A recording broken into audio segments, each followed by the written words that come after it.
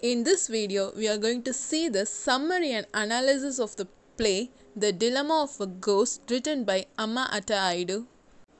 The Dilemma of a Ghost, a play set in Ghana at an unspecified time, was first performed in Legon, Ghana in 1964 and first published in English in 1965. It was written by Ama Aidoo, a Ghanaian writer. It is the story of a young Fante man returns from the United States with an African American wife whose foreign customs and expectations alienate him from his family. Ama Ata Aidoo, the Ghanaian writer, was born on March 23, 1942 at Abeadzi Kyiakor near Salt Pond in Gold Coast, now Ghana. In her writings, she focused on the perspective of the modern African women. Her first recognition was from her problem play The Dilemma of a Ghost 1965. She won a fellowship to Stanford University in California. She later returned to teach at Cape Coast, Ghana 1970 to 82. In 1982 to 83, she served as Ghana's Minister of Education. Some of her works include No Sweetness Here, a collection of short stories, Anowa, Someone Talking to Sometime, a collection of poetry, and Changes a Love Story, a novel. The characters in this play are Atto Yasin, a young Ghanaian graduate, Eulalie Afro-American graduate, Esikom, Atto's mother, Monka, his sister, Nana, his grandmother, Akyere, his elder aunt, Mansa, his younger aunt, Petu, his elder uncle, Akroma, his younger uncle, first woman and second woman, neighbors, boy, girl, two children in a dream, and the bird of the wayside. The play consists of five acts. Let us see the summary of acts one by one. Now, Act 1. It features two village women returning from the river with their water pots, discussing how they toiled like slaves during the domestic and farm works while other family members are resting. They also talk about the arrival of Atto who is expected to pay the debts his mother had. Nana, the grandmother, is happy for the return of her grandson while she is still alive. She complains that the darkness has fallen, but the women have not lit the light. Atto calls them, and his uncle Akroma and Petu come at the same time. Nana suggests that Akroma should take his wife to a famous herbalist called Kofi Chrome. Instead of depending on the white man's medicine alone, which seems to be ineffective to his wife. They gather as a family and discuss various things, including how Atto, the firstborn, was humbly growing up. Petu asked for the sheep that Esikom was rearing and she reports that she sold it to get the money to pay the bride price for Atto. Atto informs them that he is already married and they all are surprised and they attack him with questions like You are married? Married? Who is your wife? When did you marry? What is her name? Where does she come from? etc. The news troubles them a lot because she is from America and they can't pronounce her name. He assures them that she is just an American of African ancestry because her grandparents were taken from Africa to America as slaves. This additional information confuses them even more to learn that Eulalie is an offspring of slaves. Nana is more frustrated how she will tell the story to the dead ancestors when she dies that one of their stocks had brought home a slave. Now, Act 2 14 days later, Two women are talking as they come from the woods, where they have gathered some faggots. They discuss how important it is to have children, but they comment on Monka, Esikome's daughter, who never marries well. However, they don't blame Esikome for Monka's rudeness. They expect Atto to take care of his nephews, that is, Monka's children. But they also say that those days are gone. They talk about Atto's wife and the second woman reports that Esikome had gone to knock the door of Yamensa to ask for his daughter to marry her son. But she says that he has refused to marry this girl and has instead married a black white woman. They hear the cry of a baby from a distance, and the first woman wishes she also had a child. Later, Eulalie is seen giving a long monologue or soliloquy after arriving in Africa. She wonders what she would do if she finds out that she has made a mistake coming to Africa. She even acknowledges the change of her name from Eulalie Rush to Eulalie Yasin. She expresses the misconception she had about Africa that she thought of it as a jungle and never thought there is coke in Africa. She expresses her identity and the pride that her mother instilled in her that God created her black and she cannot change it. She wishes her mother was alive to see her. Atto then joins her and the two discuss several things teasing each other. Eulalie introduces the idea of starting a family, but Atto objects that they should stick to their original plan. Now, Act 3. Six months later, Atto and Eulalie have come to spend a weekend. Atto dreams of a boy and a girl in a siesta singing about the ghost who was in a dilemma not knowing where to go whether to Elmina or to Cape Coast. He is so worried about the dream because it once happened when he was still young. His uncle Petu comes to greet them and Atto tells him about the dream he had. He says that the boy in the dream looked like him when he was a child. His uncle encourages him not to think much about the dream while he works on it. Two hours later, Atto's mother Esikome comes and brings them snails to prepare the food. When Eulalie sees them, she throws them away and this causes a great conflict between Atto and Eulalie and Atto with his mother. Atto tries to defend his wife but Esikome insists that she has to follow the culture of her husband and not the vice versa. Esikome tells Atto how she had troubles collecting the school fees from the unsympathetic rich people and his uncles.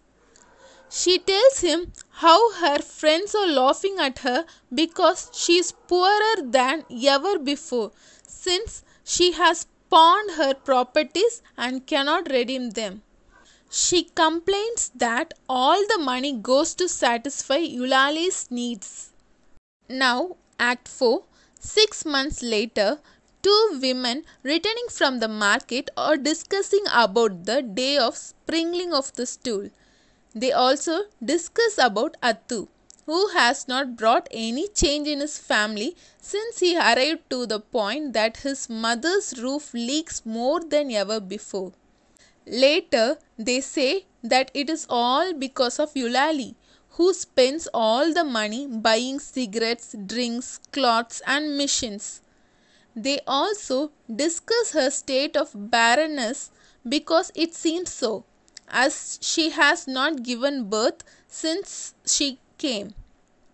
Atto's relatives come to perform the ritual of sprinkling the compound to chase the evil spirits using the herbal concoction and then they leave.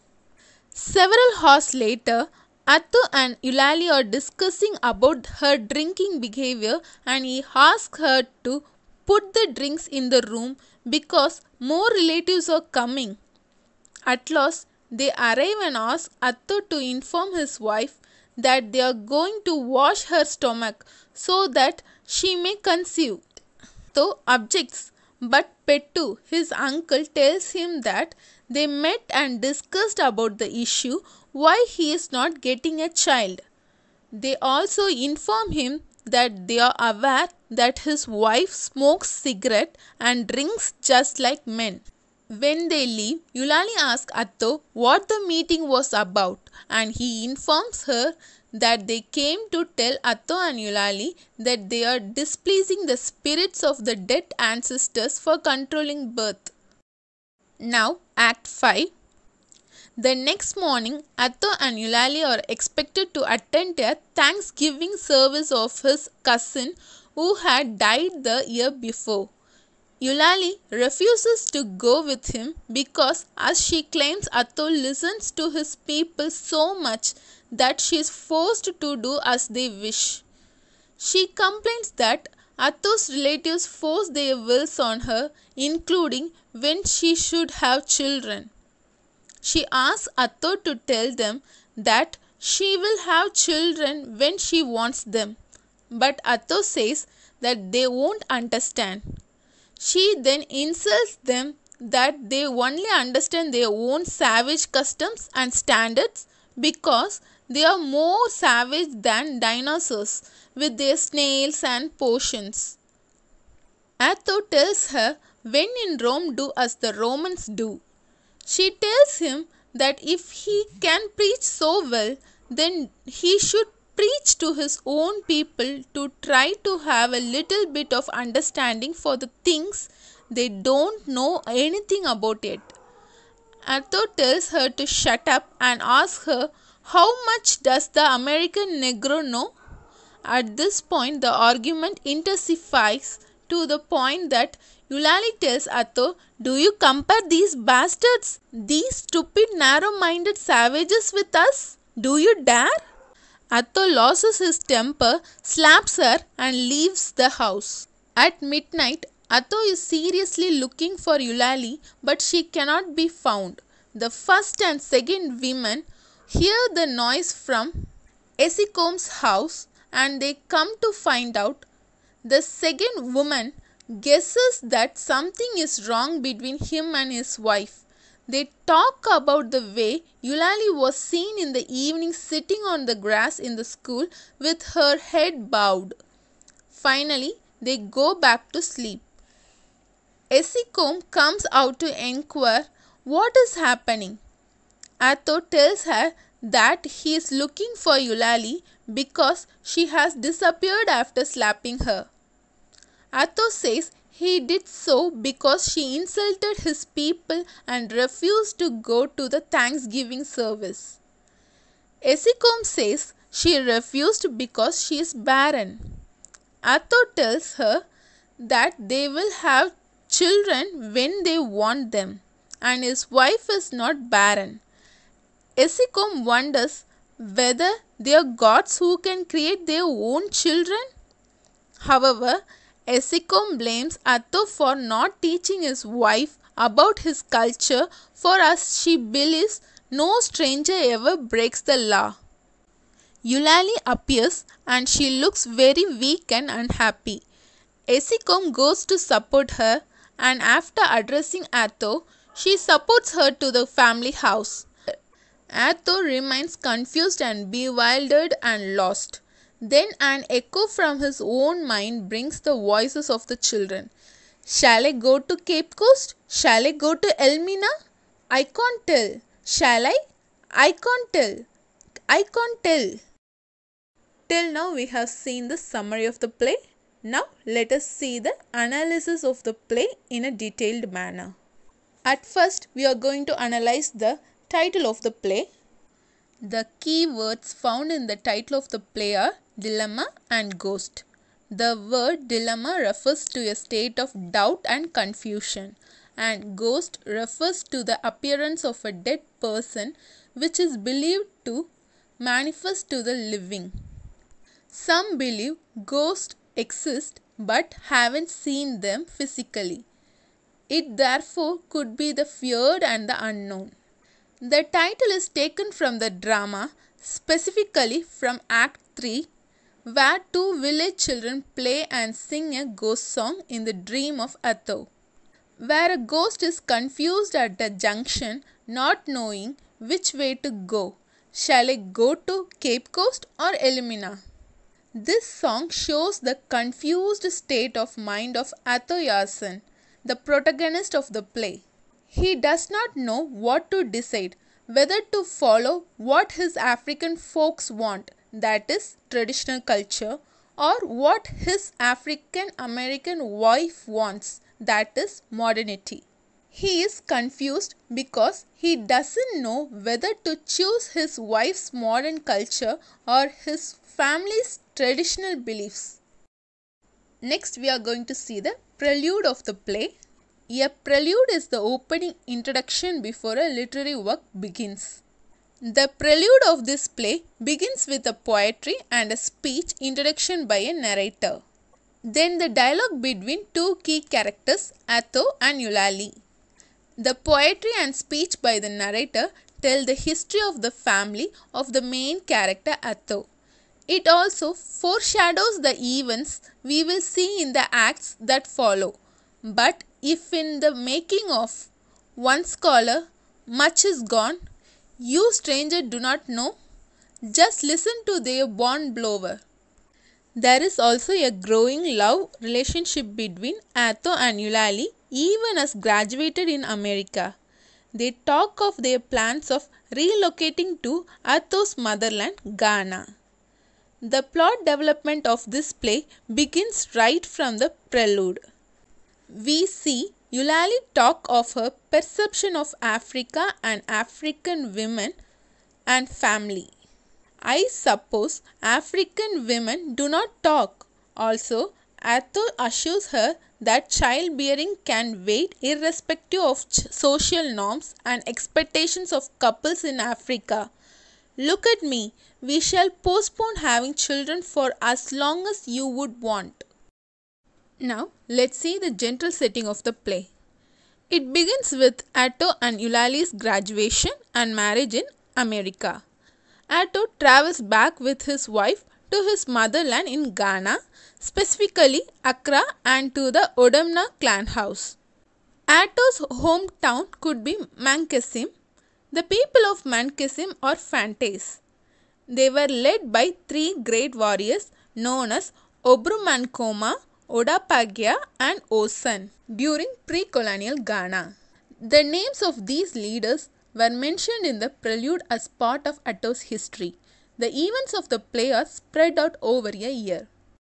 Now we are going to see the themes of the play.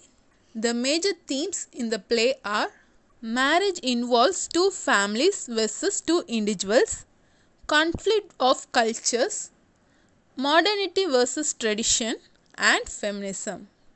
The first one, marriage involves two families versus two individuals. Atto's African culture and traditions see marriage as a union of two families and not individuals. On the other hand, Eulalie's culture as an Afro-American views marriage as a relationship between the couple. These opinions on marriage pose challenges for the marriage of Atto. At the end, however, these two cultures converge when Atto's mother Esikom accepts Eulalie into their family after their major conflict. The next theme is conflict of cultures. Eulalie and Atto are from different continents.